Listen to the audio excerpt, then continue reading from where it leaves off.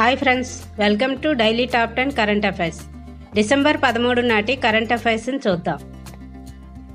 శ్రీకృష్ణ జన్మభూమి వివాదంలో ఏ మసీదు సర్వేను నిలిపివేయడానికి సుప్రీంకోర్టు నిరాకరించింది. ఆన్సర్ షాహీ ఈద్గా మసీదు. శ్రీకృష్ణ జన్మభూమికి సంబంధించినదిగా చెబుతున్న షాహీ ఈద్గా కాంప్లెక్స్ ప్రాథమిక సర్వేకు అలహాబాద్ హైకోర్టు అనుమతినిచ్చింది. ఇది ఎక్కడ ఉంది? ఆన్సర్ ఉత్తరప్రదేశ్లోని మధురలో. రాజస్థాన్ నూతన ముఖ్యమంత్రిగా ఎవరు ఆ రాష్ట్ర గవర్నర్ కల్రాజ్ మిశ్రా సమక్షంలో ప్రమాణ స్వీకారం చేశారు? ఆన్సర్ భజన్లాల్ శర్మ. రాజస్థాన్ యొక్క మొత్తం అసెంబ్లీ స్థానాలు ఎన్ని?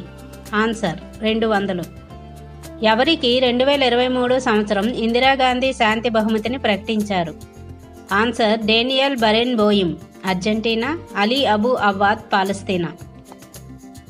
బరెన్ బోయిమ్ అలీ అబు అవ్వాదులకు రెండు వేల ఇరవై మూడు సంవత్సరం ఇందిరాగాంధీ శాంతి బహుమతిని ప్రకటించడానికి గల నేపథ్యం ఏమిటి? ఆన్సర్ ఇజ్రాయిల్ పాలస్తీనా సమస్యకు శాంతియుత పరిష్కారం కనుగొనడంలో కృషి సాగిస్తున్నందుకు. ప్రపంచంలోనే ఎత్తైన యుద్ధక్షేత్రం సియాచిన్లో ప్రప్రథమ మహిళా వైద్యాధికారిగా ఎవరు record సృష్టించనున్నారు? Answer captain Fatima Wasim. Tesla తన కొత్త తరం హ్యూమనాయిడ్ రోబోను ఆవిష్కరించింది. దాని పేరేమిటి? Answer Optimus Gen two. హెక్టార్కు ధాన్యం దిగుబడిలో ఆంధ్రప్రదేశ్ దేశంలో ఎన్నవ స్థానంలో ఉందని నాబార్డ్ అధ్యయన నివేదిక చెబుతుంది. ఆన్సర్ రెండవ స్థానంలో ఉందని.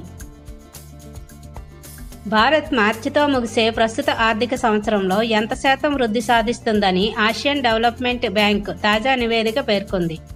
ఆన్సర్ ఆరు పాయింట్ ఏడు శాతం వృద్ధి.